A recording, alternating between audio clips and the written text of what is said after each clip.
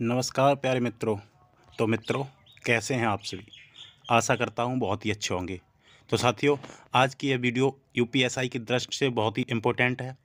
साथ ही साथ, आपकी आने वाली यूपी ट्रिपल एससी और एसएससी जीटी को भी फोकस करके ये वीडियो बनाई गई है। तो साथियों, हिंदी के आज के टॉप ट्रेंडिंग जो क्वेश्चंस हैं, जो कि विगत परीक्षाओं में बार बार पूछे जा रहे हैं, इन्हीं को देखते हुए आज के ये वीडियो आपके लिए बहुत ही महत्वपूर्ण रहने वाली है। तो साथियों, ज़्यादा देर न करते हुए चलते हैं क्वेश्चंस की तरफ़। उससे पहले, यदि आपने अभी तक मेरे चैनल को सब्सक्राइब नहीं किया तो सब्सक्राइब कर लें। पास में दिए हुए बेल आइकन को ज़रूर प्रेस करें, ताकि कोई भी नोटिफिकेशन आपके पास सबसे पहले पहुँचे। तो चलिए, देखते हैं आज का पहला प्रश्न। और यदि आपको इस प्रश्न का आंसर मालूम है तो कमेंट बॉक्स में ज़रूर दे के जाएँ। साथ ही साथ आपको बताना है इन सभी प्रश्नों में से आपके कितने सही रहे हैं? और आपको इन प्रश्नों में से कितने आ रहे थे? चलिए, पहला क्वेश्चन देखते हैं। क्वेश्चन नंबर फ़र्स्ट है। तमस शब्द का समानार्थी शब्द क्या है? तमस शब्द का समानार्थी शब्द क्या है? अंधकार, तमाशा, प्रकाश या रस्सी? तो साथियों, बहुत ही इम्पोर्टेंट प्रश्न है। तो इसका सही आंसर हो जाएगा ऑप्शन नंबर ए अंधकार। अंधकार का ही पर्यायवाची शब्द तमस होता है। Next question question number two है। वह आए तो मैं जाऊँ प्रयुक्त वाक्य में। कौन सा काल है? हेतु हेतु मध्य भविष्यकाल, संभाव्य भविष्यकाल, सामान्य भविष्यकाल या भूतकाल। तो साथियों, ऐसे प्रश्न आपको कई बार पूछ लिए जाते हैं। इसमें आपको काफ़ी कन्फ्यूज़न होती है। तो साथियों, इसका सही आंसर हो जाएगा ऑप्शन नंबर ए हेतु हेतु मध्य भविष्यकाल। नेक्स्ट क्वेश्चन देखते हैं। क्वेश्चन नंबर थ्री है, जहाँ गांठ, तहाँ रस नहीं।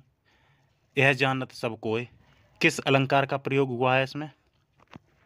यमक अलंकार, श्लेष, अनुप्रास या उपमा?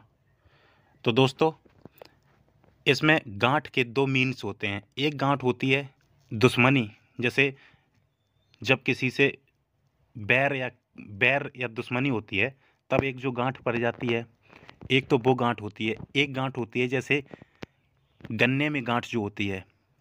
तो जिस प्रकार जहाँ गांठ गन्ने में होती है, वहाँ रस नहीं होता है। इसी प्रकार, जहाँ पर दो दो रिश्तों में गांठ होती है, वहाँ रस का अर्थ ये है, प्रेम नहीं होता है। ठीक है? तो इसका सही आंसर हो जाएगा ऑप्शन नंबर बी, श्लेष।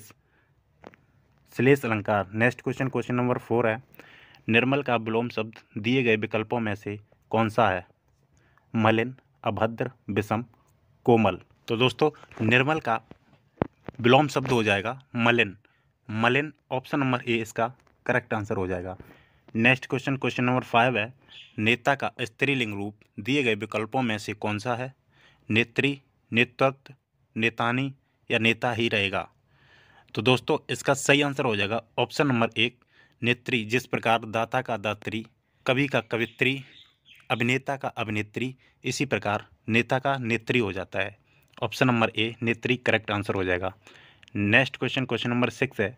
गुड़ गोबर करना, दिए गए विकल्पों में से मुहावरे का उचित अर्थ कौन सा होगा? अच्छी चीज़ को बुरा कहना, मज़ा किरकिरा करना अच्छा और बुरा एक करना भगनाश करना। तो साथियों, इसका सही आंसर है। ऑप्शन नंबर बी मज़ा किरकिरा करना। गुड़ गोबर करना, करने का अर्थ होता है मज़ा किरकिरा करना। Next question question number seven मैया, मैं नहीं माखन खायो। पंक्ति में माँ जो व्यंजन दिया हुआ है, इसकी आवृत्ति हुई है। तो बड़ की आवृत्ति किस अलंकार में होती है?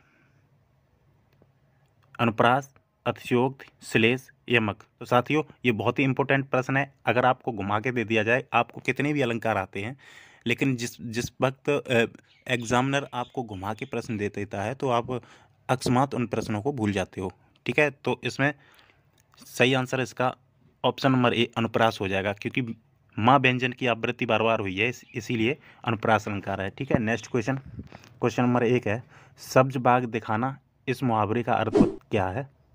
हिम्मत बांधना हरे भरे उद्यानों की सैर करना धोखा देना झूठे वायदे करना। तो साथियों इसका अर्थ हो जाएगा झूठे वादे करना ऑप्शन नंबर डी इसका सही आंसर हो जाएगा। नेक्स्ट क्वेश्चन क्वेश्चन नंबर है नाइन। सूर सागर किसकी रचना है? सूरदास, कबीरदास, कालिदास, तुलसीदास। तो मित्रों, इसका सही आंसर हो जाएगा option number A, Surdas. Surdas ही सूर सागर के लेखक हैं। Next question question number ten है। जहाँ जड़ पर चेतन का आरोप होता है, वहाँ कौन सा अलंकार होता है? उपमा, अनुप्रास श्लेष मानवीकरण। तो साथियों, इसका सही आंसर हो जाएगा मानवीकरण। यानी प्रकृति को मानव के समान क्रियाकलाप करते हुए दर्शाया जाता है, वहाँ पर मानवीकरण अलंकार होता है, ठीक है? ऑप्शन नंबर डी, इसका सही आंसर हो जाएगा। नेक्स्ट क्वेश्चन है क्यू फोर यू यानी ये आपके लिए आज का प्रश्न है। इसका आंसर आपको कमेंट बॉक्स में देना है। साहित्य अकेडमी पुरस्कार का आरंभ कब से हुआ? साहित्य अकेडमी पुरस्कार का आरंभ कब से हुआ? उन्नीस सौ सैंतालीस, उन्नीस सौ पचास, उन्नीस सौ चौवन या उन्नीस सौ अड़सठ। तो मेरे प्यारे साथियों, इसका क्या आंसर हो जाएगा? ये आपको कमेंट बॉक्स में देना है। साथ ही साथ आपको बताना है, आपको जो दस प्रश्न कराए हैं, उसमें से आपने कितना स्कोर किया है। ठीक है? और आशा करता हूँ ये वीडियो आपके लिए इम्पोर्टेंट रहे। ये प्रश्न आपको ज़्यादा से ज़्यादा आते हों। इसी के साथ मिलेंगे अब नेक्स्ट वीडियो में। तब तक के लिए जय हिंद, जय भारत।